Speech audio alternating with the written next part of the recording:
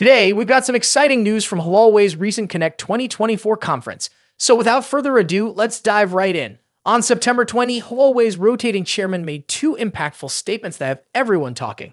First up, he addressed the ongoing US ban and its unexpected silver lining for Huawei. He pointed out that this ban has pushed Huawei towards self reliance. Now, let's break this down. The US has imposed tough sanctions, citing security concerns, and it seems unlikely these will be lifted anytime soon. But rather than viewing this as a setback, Huawei sees it as an opportunity.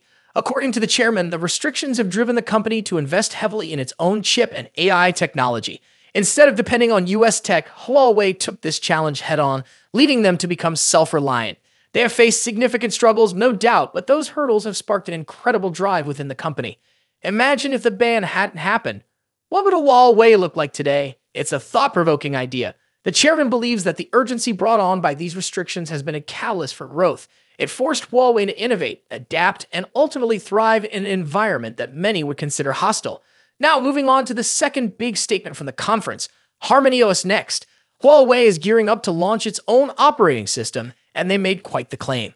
Huawei stated that HarmonyOS has achieved in just one year what Android and iOS took 17 years to accomplish.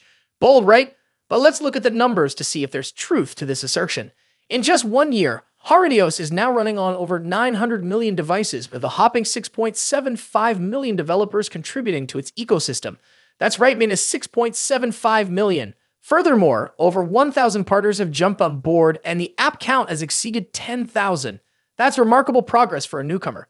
When you compare this to Android and iOS, it's clear that HarmonyOS is making strides at a much faster pace.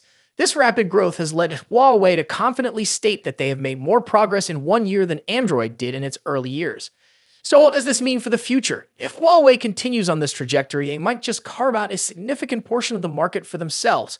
The success of HarmonyOS could challenge the dominance of Android and iOS, especially in markets where Huawei is already strong.